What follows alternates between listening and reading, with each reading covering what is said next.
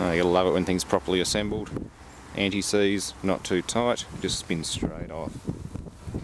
That thing turns, there's a thrust bearing in here.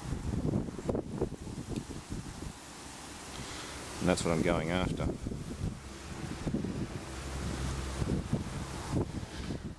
You can see how the gear set in here works.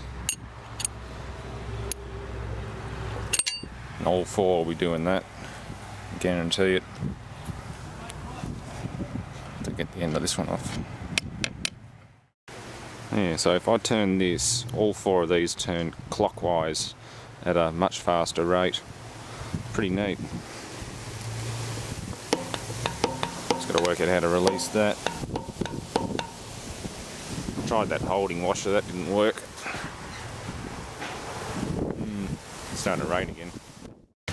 Oh, now this is an autopsy. I got the end piece out. It's in a little thrust bearing. It's an eccentric too.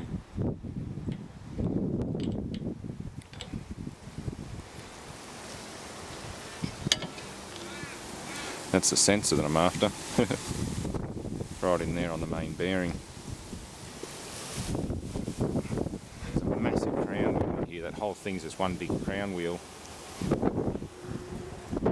Oil sprayer.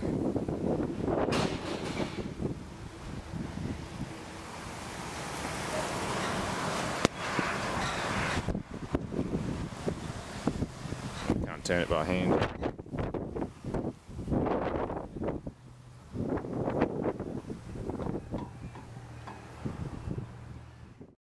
Uh, I thought the drive ratios looked a little bit different. That one's smaller, it spins faster. That's number four, fourth stage. That one there, I don't know what stage that is. Oh, sorry, S1, stage one, stage two, stage three, and stage four. So I think we'll find these are all different sizes. Large, getting smaller. Yeah, that's not bad. And if I turn that shaft,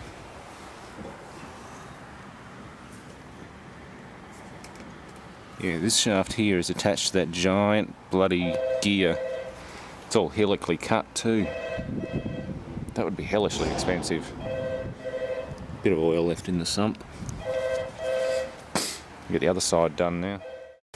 Okay, well, there's definitely, uh, I suppose you'd call it an increase in speed as you go through the stages.